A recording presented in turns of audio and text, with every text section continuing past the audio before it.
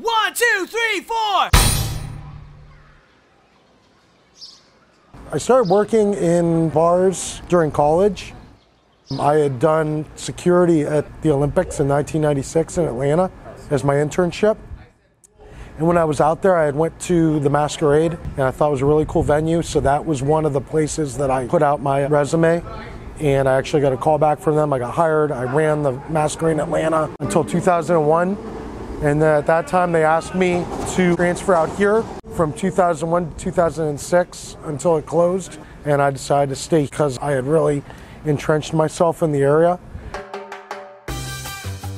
When you think of Ybor City, you think of art, music, food. You know, these are all things that all tie into this district.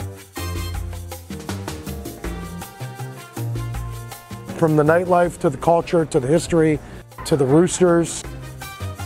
It's just a very unique area that I think any city would be lucky to have.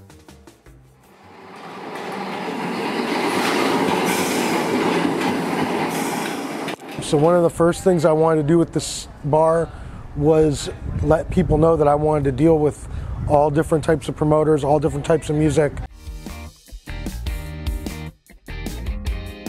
That we were going to open ourselves up to where we could have a hardcore show one night, to a jazz show the next night, to, to a stand-up comedian the night after that. And I think when you're a well-rounded venue, you can fit in just about anywhere.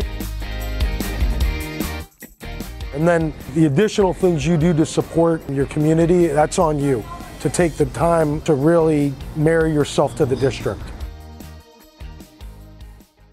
You would have to ask the local musicians, but I think anybody would tell you that one of the forefront in supporting the local musicians, giving them opportunities to play, doing open mics, putting them on bigger shows.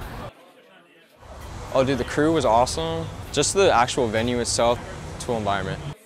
As a local band, you usually typically play, you know, just the most smallest venues you possibly can. Sometimes you're playing at someone's house.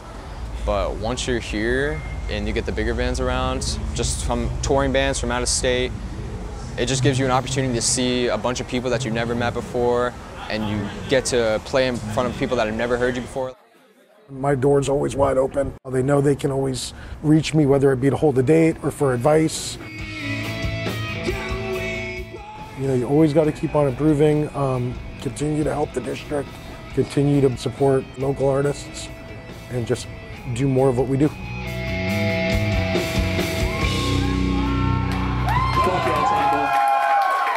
This is it for us tonight.